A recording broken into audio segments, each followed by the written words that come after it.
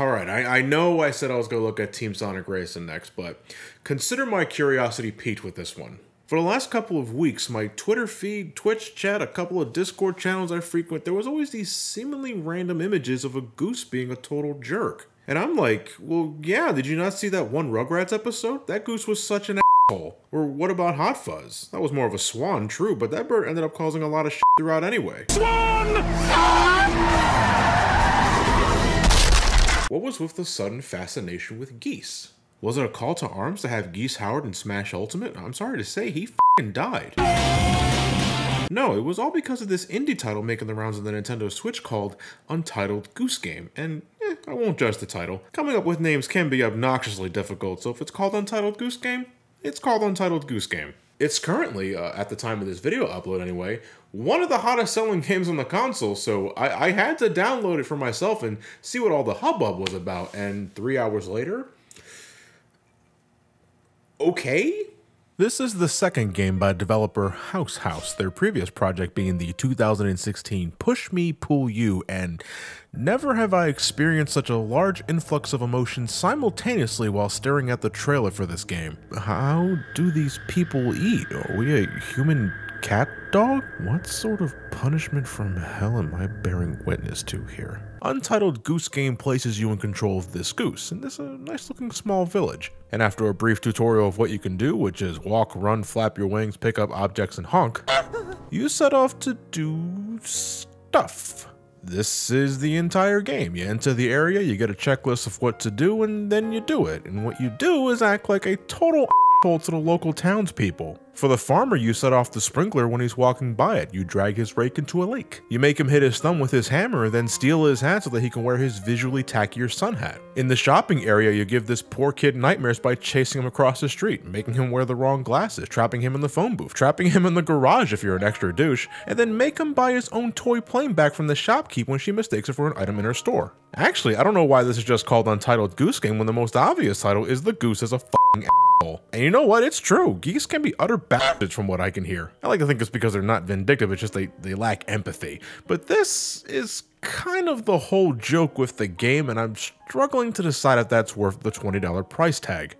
There is something to admire about the confident aura that emanates through the game's design that doesn't come off as pretentious. I don't think there's an underlying message that the developer is trying too hard to state some political or social commentary. No, this is about as straight to the point as you can get. You're a goose, you got a checklist of things to do, so go do it. About three hours later, you head back home, that's that, and that kind of simplicity can be a great selling point. Lord knows, a bunch of people have already given this game the go around. It's all over the place for a reason, and that's cool, but I don't know, man. I think the joke wears thin too quickly. The entire purpose of this game is to check off that list by being an absolute dick to those around you something you experience in its entirety in the first 10 minutes and is then stretched into a couple of hours. It's a very harmless game, I would say recreational even, or cathartic if you yearn to rage against society as a goose. You can't get hurt, there's no lives, and the worst the townspeople can do to you is shoo you away and then immediately forget about you. The attention spans of these folks are a fucking anomaly, even when it's clear that you have ulterior motives at this point. You know I'm gonna yank that bench from under your ass again, right? No? Well then you deserve to fall.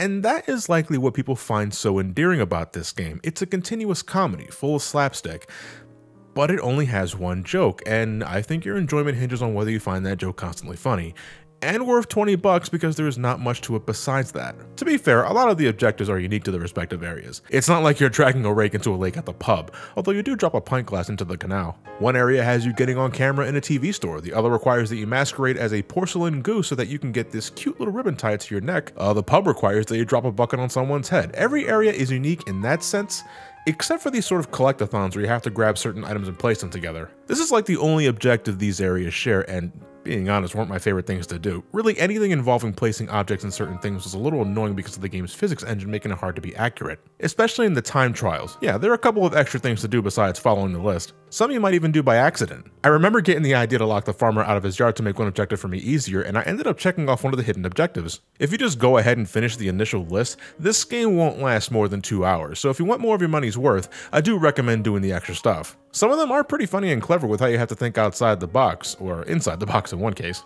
The time trials I could have done without. After you beat the game, you can reset the areas and try to complete all the objectives in that area under a certain time. It is an exercise of patience, not so much in planning the best route to get as much done as fast as possible, but because for one, even with the Goose's limited moveset, trying to keep the pace up with its incredibly weighty movement can feel very sluggish. Trying to snag items in a hurry can also be a crapshoot because of how finicky the hit detection is for your beacon moving objects. If you're not careful with positioning and run into a person, you get forced into a different direction for a second, robbing you completely of control, and that, that added up over time, god.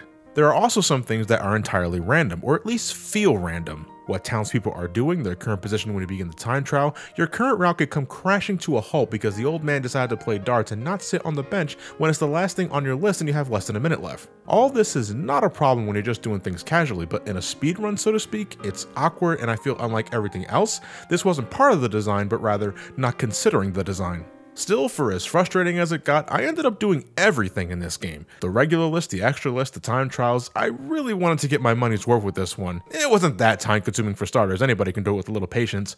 And you do get this spiffy crown that you can get on your head if you manage to trick this lady into putting it on your noggin. King Goose, admirer of golden bells and terror to little children, especially this pale looking one. I will rip off your head and place it on a pike in my throne room. I don't regret my time spent experiencing this. I had some fun for sure, but it is so much a one and done. I see no reason to replay this, and for 20 bucks, that's damning, considering I've played much more replayable indie titles for about half of that. It's great that the game is getting so much exposure and the developers yearn for that sort of press, and to see everyone talking about it for better or worse is inspiring to other creators, I'd imagine. In that sense, I'm happy for indie creators. I'm happy for Untitled Goose Game. I'm happy for developer House House. But the actual game itself is nothing to write home about. You won't lose too much time, and money if you got the disposable income, but I'd still say wait for a sale. If you're not down with the premise or the joke, you just might find the whole thing shallow and unfulfilling. All right, well, I'm going to head back into Team Sonic Racing. My apologies for that little distraction. I just had to see why the hell people were talking about this game. I would like to request something for the sequel if that's ever made. We need to steal the dentures off an old man. Imagine running around town looking like this motherfucker. I'd like that. Very much. Thank you all for watching. Have yourselves a fantastic night, and take care.